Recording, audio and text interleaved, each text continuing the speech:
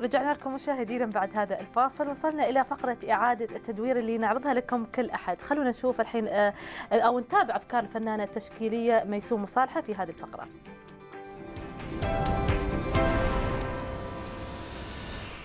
اليوم رح نعمل كاندل هولدر اللي هي حاملة الشمع من الأسلاك آه، للعلاقات الأسلاك اللي موجودة في البيت. ممكن ست البيت بدل ما تكبها تستفيد منها. وتعيد تدويرها مرة ثانية هلأ الأغراض أو الأشياء اللي رح نحتاجها اللي هي أهم إشي اللي هي عبارة عن علاقة الملابس. آه رح نحتاج لقطاعة رح نحتاج لمشرط آه وال glue آه سيليكون رح نحتاج لألوان ورح نحتاج لصوف بالون وال candle الصغير هذا. رح نحتاج لكرتون. أول شغلة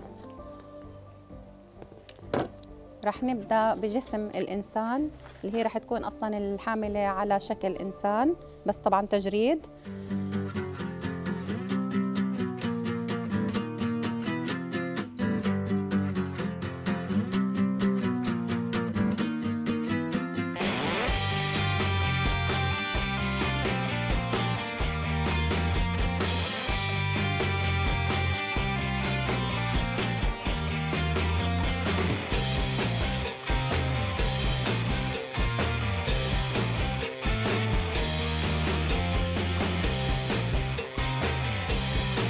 هلا بعد ما خلصنا الخطوط كلياتها وحددنا الأسلاك اللي بدها تشكل الجسم بدي أوصل كل الأجزاء ببعض بالسيليكون.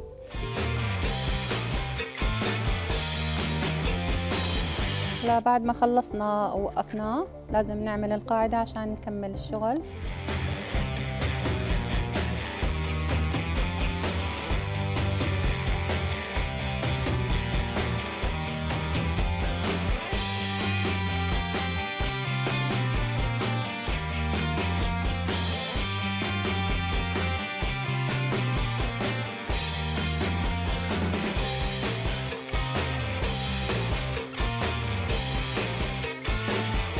هلا بعد ما وقف الشكل بدنا نشتغل عليه بالسيليكون.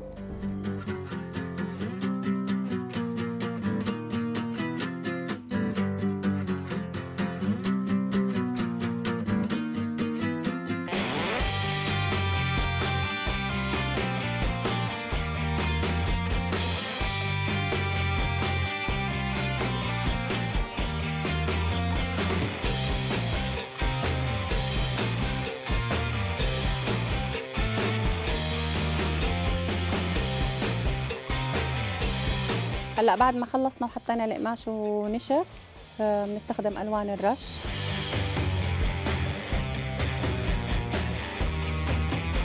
بالنسبة للبالون اللي بدي نحط فوق راس المجسم آه لازم ينشف آه بعد ما ينشف بنشيل البالون من داخله. زي ما أنتم شايفين هلا هو أصلا العمل كله رح يصير بهالطريقة هاي أو كما هو بالشكل هذا. آه بعد هيك بده يجي مرحلة الذهبي اللي هي لازم نوشحها بلون الأكريليك.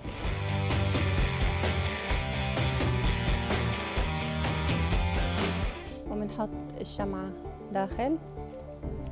طبعا لما بدنا إياها بنشغلها. بعدين بنسكر الشكل. وهيك بكون العمل جاهز. يعطيكم ألف عافية. شكراً. عمل جدا جميل مشاهدينا. آه، هنا يأتي الإبداع يأتي الابتكار مثل ما نقول محمد يعطيها العافية المدربة سوسن على هذه الفكرة الجميلة. يعني من أشياء بسيطة موجودة في كل منزل. آه، يقدرون يستخدمون أشياء أو تحف جميلة أكيد تفيدهم حتى للأيام الجاية. والحين آه، محمد شو عندنا؟ والحين طبعا مشاهدينا ننتقل معاكم إلى الجلسة الحوارية الاقتصادية اللي أقيمت في خورفكان حول الاقتصاد في ملتقى خورفكان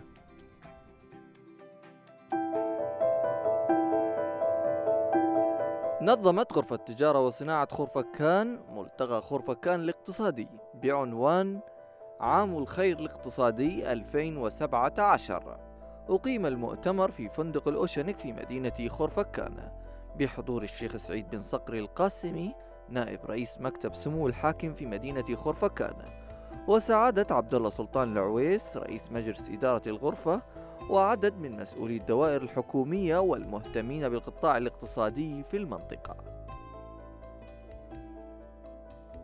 نحن سعداء بهذا الملتقى الملتقى الأول الاقتصادي آه، بخرفكان آه، يعتبر هو نوع من أنواع النشاط التشجيعي لرجال الأعمال. وأصحاب المشاريع. ضم الملتقى عدة محاور ومناقشات حول الإسهامات والمبادرات المقدمة من القطاعات الحكومية أو الخاصة في المنطقة. منها الحرص على التواصل نشر وترسيخ ثقافة الخير العمل التطوعي وتعزيز المسؤولية المجتمعية وخدمة الوطن وكافة شرائح فئات المجتمع واستثمار قدراته وابداعاته وذلك بهدف تطوير أنشطتهم الاقتصادية وتنمية استثمارها سواء بالقطاع الأعمال الخاص أو الحكومي وتنفيذ الاستراتيجية المتبعة من غرفة التجارة والصناعة.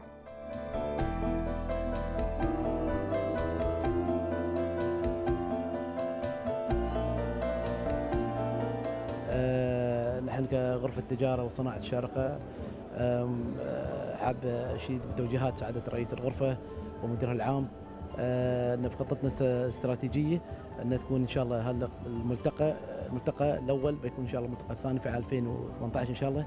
نحن هدفنا آه، بالتنسيق مع شرك شركائنا في القطاع الحكومي وزارة الاقتصاد ودائره الاقتصاديه نحث القطاع الخاص على المساهمة في عام الخير. توجه حكومتنا الرشيدة في عام الخير. نحن نحث القطاع الخاص على مبادرات وأسهامات في قطاع آه، في عام الخير. في ختام الحفل كرم الشيخ سعيد بن صقر القاسمي نائب رئيس مكتب سمو الحاكم في مدينة خورفكان المشاركين في الجلسة الحوارية والمساهمين في دعم هذا الملتقى.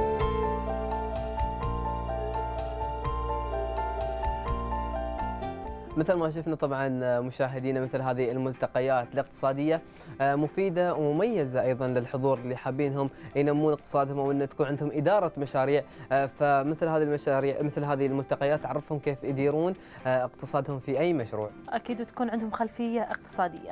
الحين يعقوب ومشاهدينا وصلنا لفقرة المعلومات الغريبة.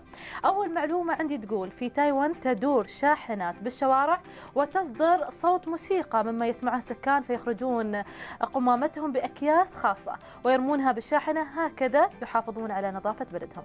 يعني آه، شيء تشجيع للناس أو للسكان عشان أنه يحافظون على نظافة البيئة. شيء جميل والله. شيء جميل فكرة مبدعة. يعني أنها فكرة مثل ما ذكرت أنها مبدعة وأيضا يعني تحافظ على البيئة. أكيد. جميل. وأنا طبعا مشاهدينا معلومة تقول الاشخاص الذين ولدوا في فصل الصيف في شهر 6 و7 و8 و9 يملكون رغبة رغبة ملحة للسفر والترحال باستمرار ويكرهون الاستقرار في المنزل لمدة طويلة. وانت منهم؟ أكيد. لأن محمد مواليد شهر 7 شهر 7 نعم فتحب السفر؟ أنت مش معنا. أنا 10 فعشان تي. ففعلا عايشه يمكن تكون معلومة فعلا صحيحة. نعم. أما معلومتي تقول 35% من البشر قد يتناول يتناولون الكثير من الطعام لكن وزنهم لا يزداد كباقي الناس بل يحافظون على رشاقتهم دائما حتى دون دون أن يمارسوا الرياضة. والسبب علميا يرتبط بكونهم يتمتعون بتمثيل غذائي متكافئ بين الهضم وإنتاج الطاقة مما يحول دون تعرضهم للسمنة دائما. أتوقع يتكلموا عني. آه في ناس صح دائما لما نشوف مثلا الناس يأكلون يأكلون نقول نقول لهم أنتم ما تمتنون واحيانا نقول إنه ممكن يحرقون بسرعة. صحيح. نعم. لا عشان فعلا اللي عرفته يعني من خلال مراجعاتي للاستشارات الطبية إن الحرق يكون بسرعة. نعم. عكس الأشخاص الثانيين يمكن لا يكون عندك تأخير في الحرق كذا بس أو حتى النظام الغذائي مثل ما ذكرت المعلومة إن مثلا أنت تتناول أشياء منتظمة فعشان تي تهضم بسرعة والله ما أتوقع أنا لا. نعم. أنا لا ما أحس هالشيء الحرق ممكن سيلي مجرب 10 سنين طبيب. نعم. طبعا مشاهدينا إحنا نكون وصلنا لختام حلقتنا لهذا اليوم. نشوفكم إن شاء الله باكر في حلقة جديدة ومع السلامة. إلى هنا مشاهدينا وصلنا لنهاية حلقتنا اليوم. ملتقانا إن شاء الله الساعة 10 ونص باكر في نفس الوقت ونفس الشاشة ومع السلامة.